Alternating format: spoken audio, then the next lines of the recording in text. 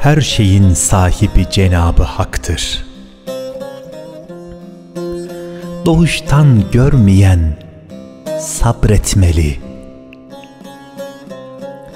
Gözü görmese de vicdanı aktır.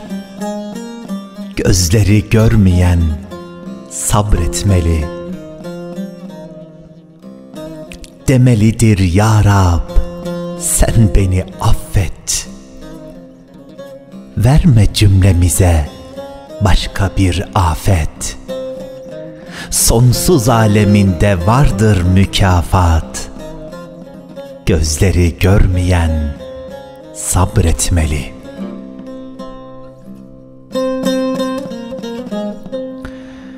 Halil'in sözünü tuttuğu gibi Veysel'in deveyi güttüğü gibi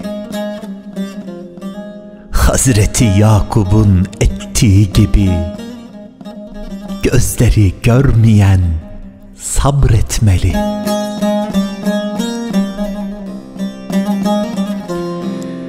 Dilinde olmalı hakkın kelamı.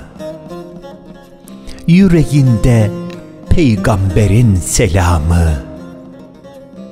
Mana ile seyretmeli alemi Gözleri görmeyen sabretmeli.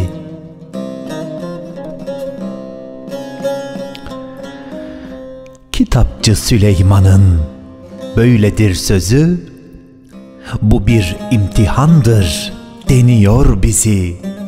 Mühim olan insandaki kalp gözü Gözleri görmeyen sabretmeli. Gözleri görmeyen sabretmeli. Sabretmeli